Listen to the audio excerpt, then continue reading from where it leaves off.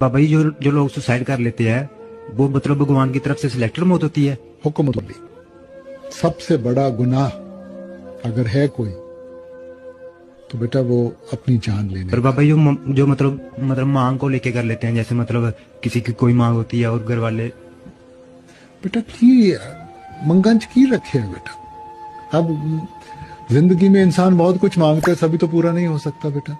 अब छोटी छोटी चीज़ों को लेके वो पीछे किसी बच्ची ने सेल फ़ोन के लिए अपनी जान ले ली या कुछ ले लिया।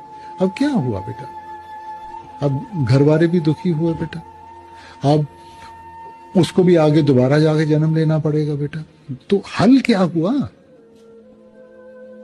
जिस अवस्था में थी हुकूमतूली हुई है, शायद बोझ अपना और बढ़ा लिया। और किसी ऐसी अवस्था में आएगी जहाँ और मेहनत करनी पड़ेगी? तो हल तो नहीं हुआ ना?